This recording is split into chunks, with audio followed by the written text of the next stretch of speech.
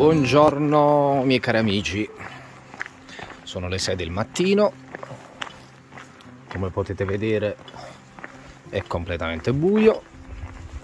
E stamattina salutiamo Oburgo, mio alberghetto, stamattina ho deciso di partire presto, intanto perché voglio arrivare, voglio arrivare non tanto tardi a Santiago perché alle 12 c'è la messa del pellegrino, ho piacere di ascoltarla, ho piacere di visitare la cattedrale con calma, anche perché poi dato che proseguirò verso l'oceano non sosterò tanto a Santiago a differenza degli altri che per loro è la metà finale. Quindi mi sono svegliato prima sono svegliato alle 5 e mezza ho fatto tutto e ora ho il piacere di dirvi che posso anche alzare un po' la voce, tanto sono solo io.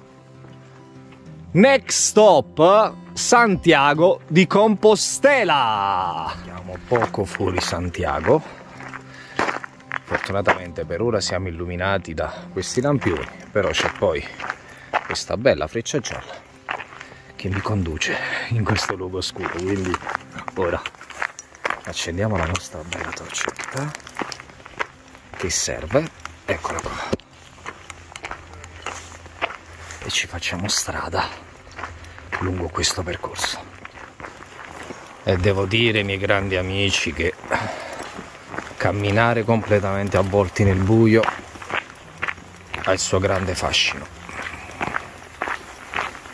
È da una mezz'oretta che sto camminando ma non si vede. Non si vede alcun barlume di luce. La foresta dinanzi a me è fittissima, come potete vedere. Guardate se scosto la luce, ecco qui. Questo è quello che si vede.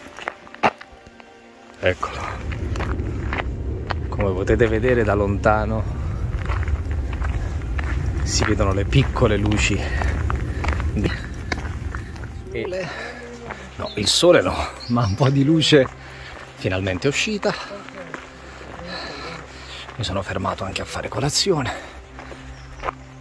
Mi sono fermato giusto un 10 minuti e adesso c'è tutta la fila di, di turisti. Logicamente ormai sto camminando da un paio d'ore. Saranno le 8, quindi è orario proprio orario proprio massiccio e eh nulla, vi faccio vedere un po' le mie spalle. Dai, dai, dai. Voilà. Stiamo salendo perché dobbiamo arrivare in cima al Monte Dogozzo, Monte della Gioia. Poi una volta che arriviamo lì in cima vi spiego perché si chiama Monte della Gioia. Guardate qui, 13,82 km, qualche buon tempo ha scritto 100 km, ma mi dispiace mio caro. Ah, 100 km magari sono quelli che devo ancora percorrere io per arrivare a Cabo de Finisterre. E qui come vedete costeggiamo proprio l'aeroporto.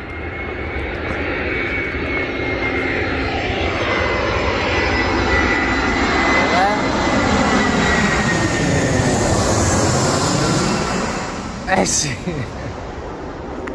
Sì, sì. Costeggiamo l'aeroporto. Vabbè, io poi sono abituato, ho vissuto tanti anni a Fiumicino, quindi per me mi fa sentire un po' più a casa, dai, questa, questa immagine. A destra abbiamo la carretera e dobbiamo fare tutto questo percorso costeggiando l'aeroporto.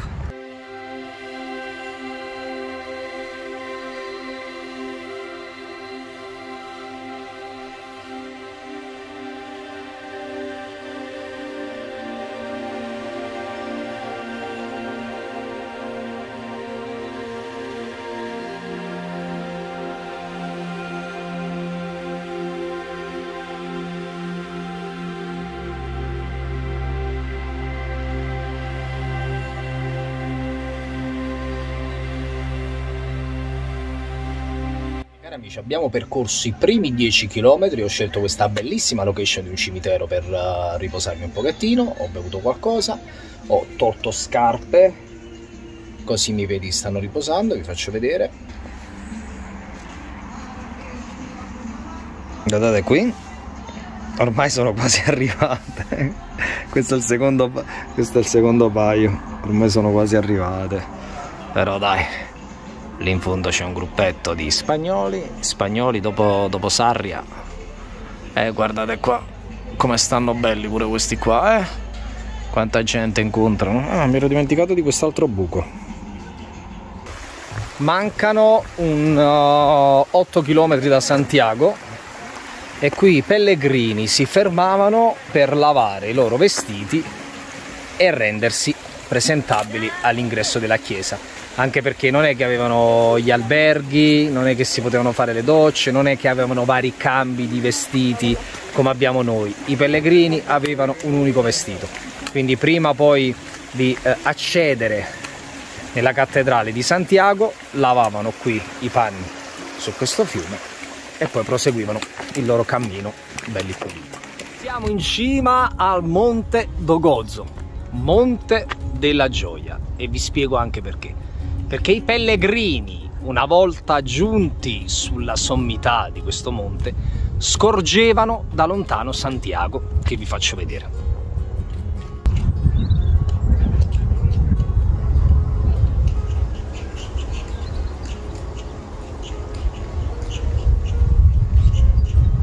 I pellegrini dopo tantissimi chilometri e tanta fatica finalmente scorgevano Santiago e dalla gioia ringraziavano Dio per avergli permesso di arrivare fino a questo punto. Ed è per questo che questo monte è soprannominato ed è chiamato Monte Dogoso, Monte della Gioia. Da poco sono passato avanti al Monte Dogozzo e guardate qui, proprio a pochi metri, tutti questi prefabbricati che eh, servono da rifugio per i pellegrini. Però vi dico solo una cosa, che tanti anni fa qui c'erano tutti alberi, quindi questa parte è stata completamente disboscata per il business e per il successo che ha avuto poi il Cammino di Santiago, soprattutto per gli ultimi 100 km, molte persone decidono di sostare qui perché da questo punto mancano un, uh, un 4-5 km al Santiago. A che prezzo però mi chiedo? Pensando che invece di questi blocchi di cemento c'erano tutti alberi, a che prezzo tutto questo? Attraversiamo un'autostrada 3, 6 ad 8 corsie, mamma mia. Che effetto il progresso il progresso. Stiamo abbandonando tutto ciò che abbiamo vissuto in 30 giorni eh, i claxon salutano i pellegrini i vari camion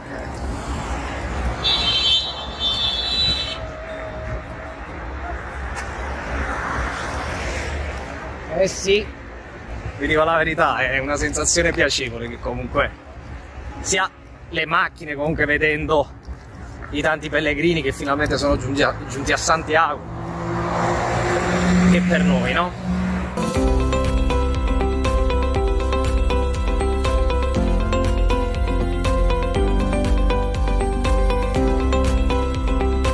Ed eccoci finalmente! al castello Santiago! Ce l'abbiamo fatta amici miei! Ce l'abbiamo fatta! Più di 800 km da San Gianni! Il primo cartello che ho fotografato San Gianni de Port e finalmente sono a Santiago! Quante volte me lo sono sognato questo cartello! Quante volte! Santiago de Compostela! E ora andiamo in direzione della cattedrale e vediamo anche di ascoltare la messa del pellegrino e poi di fare un bel giro. Miei cari amici, ormai sto camminando da un paio di chilometri da, dentro Santiago, ma questa cattedrale si nasconde non ho bevuto, non mi sono riposato, mi fanno male i piedi, voglio arrivare, voglio arrivare. Non mi sono fermato a bere, voglio arrivare. Sono distrutto, poi mi riposerò. Oggi mi riposerò. Oggi mi riposo, ora non è tempo di riposare. Ora è tempo di camminare. Tempo di camminare.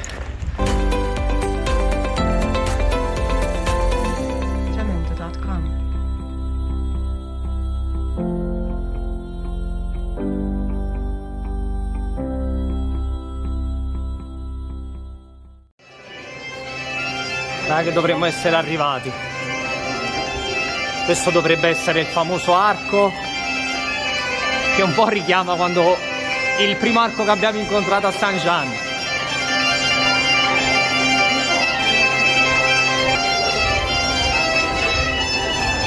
Siamo.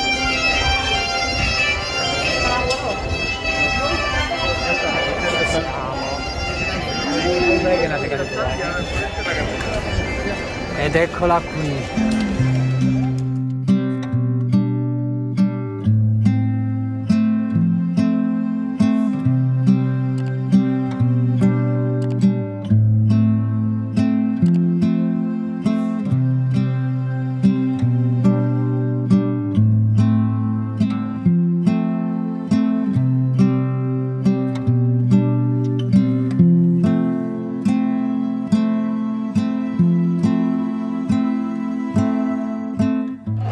Credere, amici miei, non ci posso credere.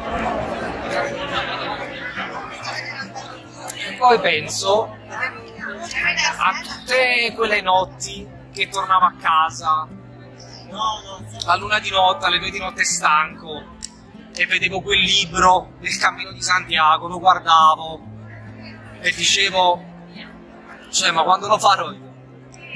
Cioè, è impossibile, come faccio io a prendermi un mese, più di un mese di ferie, a camminare 900 km, a dormire negli ostelli? Io che, che ho sempre comunque dormito negli alberghi,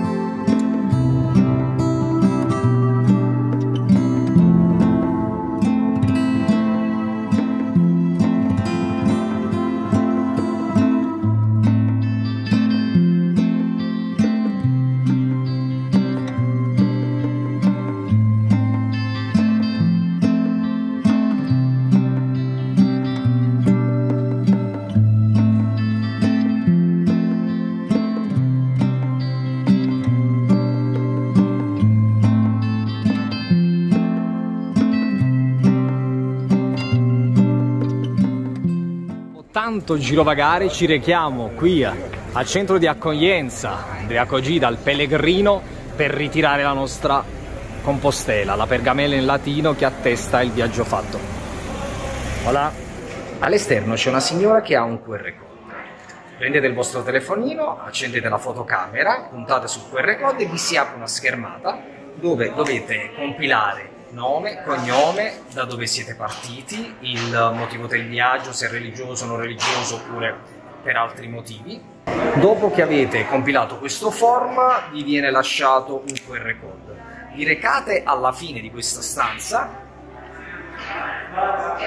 lì in fondo, dove poi c'è un signore che vi lascerà un numeretto, proprio come le poste. Io sono il numero 966 e poi sul display c'è ci sono i vari numeri. Pensate che adesso è il 321 966.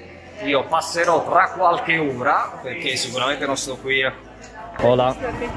Sicuramente non sto qui ad aspettare tutto questo tempo. Vedete c'è la signora con il QR code c'è questo bel giardino, ci sono i servizi igienici, tantissime persone che sono in attesa di ritirare la loro preziosa compostela. Io ne approfitto per andare in alberghe, poso Santiago e poi ritorno qui con calma, anche perché di sicuro ci vorranno, ci vorranno un tre ore. Eh, se c'è il numero 300 sono il numero 966, quindi non abbiamo assolutamente fretta questo è l'ingresso che io ho percorso e queste sono le varie postazioni dove poi ci rilasceranno la Compostela sono passate tre ore vi ricordate prima c'era il numero 300 io il numero 966 Faccio vedere. Guardate qui è proprio come, come se fossimo alle poste. 700 700 quindi torniamo tra qualche ora guardate che fila. Che fila di persone. Voilà. Se non fosse per il piccolo angelo che mi aspetta in Italia io non starei qui a fare la fila per questo pezzo di carta. Perché ormai è diventato un qualcosa uh, solo di moda. Le persone fanno gli ultimi 100 km per poi ritirare la compostela, per postare le foto e quant'altro, ma no. Sapete bene che non è questo il motivo per cui ho fatto questo viaggio, per cui ho percorso tutti questi chilometri, e però c'è una persona una persona a casa a cui ho promesso che gli facevo vedere la compostela, gli facevo vedere tutti i timbri e poi insieme nel, nel lettino d'ospedale ogni timbro lo commentavamo. E, e parlavamo della località e gli parlavo della località. Quindi mi tocca, mi tocca fare questa fila. 9,65 miei cari amici. Ci siamo. 9,66 mesa 9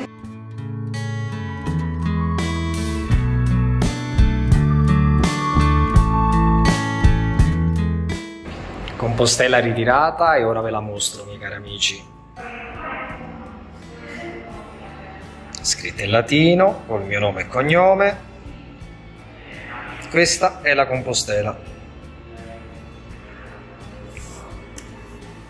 Per averla, per averla come vi ho già spiegato, non dovete percorrere tutto l'intero cammino, ma bastano gli ultimi 100 km se lo percorrete a piedi o gli ultimi 200 in bicicletta e poi al costo di 3 euro potete anche acquistare la distanza, un altro certificato, la distanza del cammino percorso. Eccolo qua, sempre in latino, 779 con la partenza da Saint-Jean.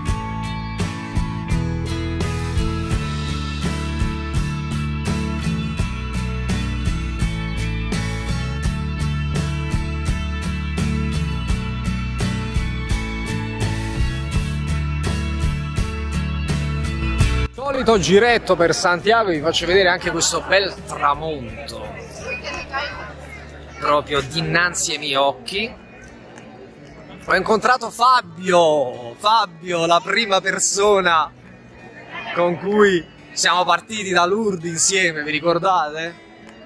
E Fabio è, il suo cammino è cambiato perché lui aveva dei progetti, poi ha incontrato un gruppo, ha incontrato diciamo l'amore e, e, quindi niente, è stato molto bello, è stato molto bello vederlo.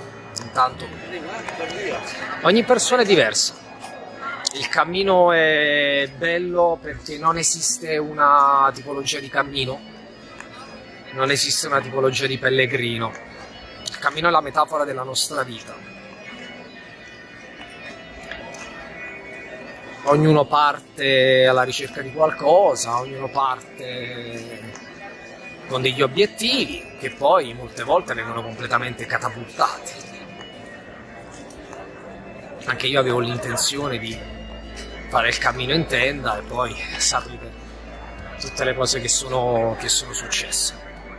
Abbiamo brindato, abbiamo passato una bella oretta insieme.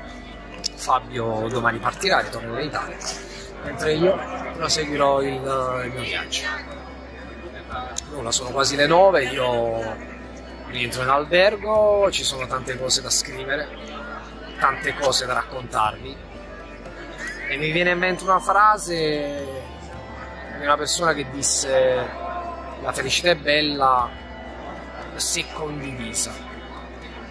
Io penso che il fatto di scrivere, di fare dei filmati, per condividerli con voi, è un po' come se avessi fatto questo viaggio anche io in gruppo, portando tutti voi singolarmente con me. Mi emoziona questa piazza, mi emoziona e... ed è stato un grande obiettivo. Ma il cammino non finisce qui. Santiago è solo una tappa, anche se speciale. E domani si va in direzione Finisterre dove molti dicono che si ritorna un po' alle origini e si respira la sensazione delle tappe iniziali. Staremo a vedere. Vi mando un bacione da questa bellissima piazza e vi auguro una dolce buonanotte.